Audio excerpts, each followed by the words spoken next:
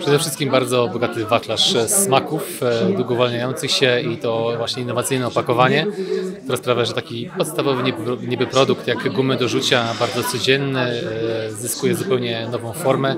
i każdy, kto szuka właśnie tych nowych wrażeń, tej innowacyjności e, będzie po nie sięgał z dużą przyjemnością. Ten nasz produkt właśnie pokazuje, że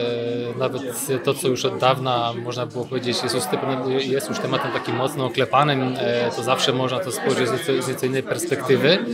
E, No tutaj dużą e, jakby dozę, zaufania musimy położyć wśród naszych producentów, e, którzy de facto definiują te, te trendy, ale nie ukrywam, że my również staramy się z nimi rozmawiać i przekazywać nasze spostrzeżenia, które zbieramy chociażby z targów i właśnie z takich spotkań jak dzisiaj, żeby dawać im jakieś cenne wskazówki do tego, jak się mogą rozwijać razem z nami. Wiele produktów, wiele firm, które zgłosiły się i faktycznie te produkty, które dzisiaj mogliśmy, zaobserwować, cechują się tą, e, tą no- innowacyjnością, tą zmianą, którą widać w trendach. E, Ta zmiana jest bardzo różnorodna, można powiedzieć, że mm, trudno skupić się na jakimś jednym konkretnym trendzie. E, Natomiast widać, że każdego roku tych pomysłów jest bardzo wiele i, i za każdym razem w sumie ten, ta potrzeba innowacyjności e, jest bardzo ważna dla każdej branży biznesu.